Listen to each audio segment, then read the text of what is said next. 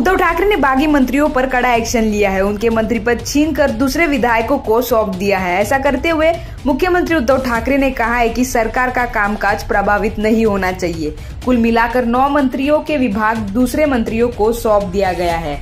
इसमें एकनाथ शिंदे का विभाग सुभाष देसाई को सौंपा गया है। गुलाब राव पाटिल का विभाग अनिल परब को दे दिया गया है। Bureau report anti corruption news.